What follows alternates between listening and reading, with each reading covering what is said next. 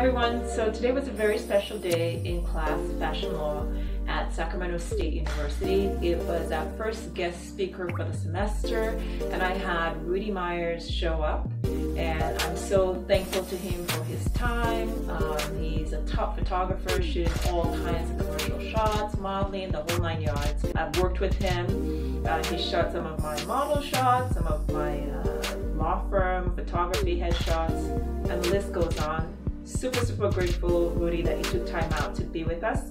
And specific to what we've been studying in our course, particularly the fashion and intellectual property chapter, it's important for me to bring a guest speaker to come solidify and cement a practical industry a professional who is experienced in this so students can really know what it means. Of course, I'm sharing my own industry experience as well, but it was really good to have Rudy come in and share his experiences and talk about, you know, copyright registration issues from the practical aspect based on the theory we've talked about, and of course talk about um, work for hire and how you deal with employees who create intellectual property on your behalf as a business owner.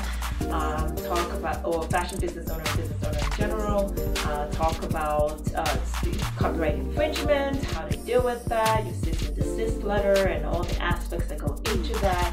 And talk about the intersection of fashion, copyright, and social media and how all of that is interplaying, especially for photographers among the many topics and took it a step further obviously with laying the foundation of what it means to be a photographer break into the industry how you shoot all those great models how you shoot all those great companies and commercial shots and all that.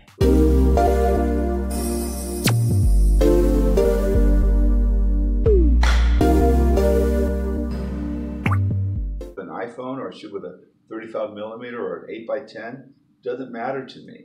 You know, it's really about can you visualize, pre-visualize an image? Can you see something that other people don't see? And can you, will your vision bring them to that image? We do that all the time. I walk into places all the time and I change. I can so dramatically change lighting in a room like this won't even look like a room like this. And that's because you have the power of pre-visualization.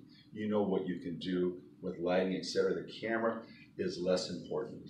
I'm not saying it's not completely unimportant. I, I, I buy top of the line gear. I like it, but it, we had to trade gear, and you had some crummy gear, and it was 20 years old, and I had to shoot film again, and you had my nice camera. I still should get a better photo, given because I know how to work it. I've been doing it long enough.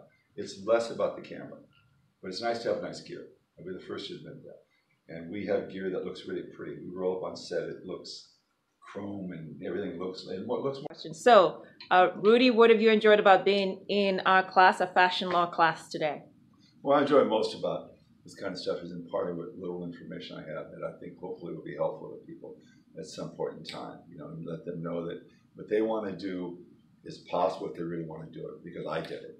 I think if nothing else, they can look at me and go like, "Oh, he didn't go to Brooks and work with Annie Leibovitz, and all of a sudden, no, he just did this on his own. And if I can do that, you know, pursue your dreams and become successful, you can too.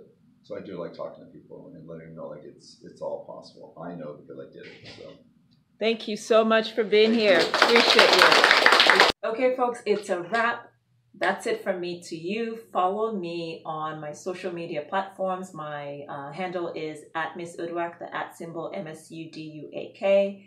And in addition, my music, business, and law folks, if you want to hear me uh, speak on my podcast or uh, just read some of my articles covering the music, business, and law um, focus, which is part of my practice as an entertainment lawyer, please visit africamusiclaw.com. For fashion law folks, uh, some of you that have been following me for a while, please go to fashionentlaw.com. African Music Law actually birthed from that, and I will be returning back to blogging and sharing articles on fashionentlaw.com. So please check that out. I'll keep you all updated on this process. I'm having fun um, spearheading a fashion law course at Sacramento State University. Take care, have a great day, and we shall speak very, very soon. Cheers.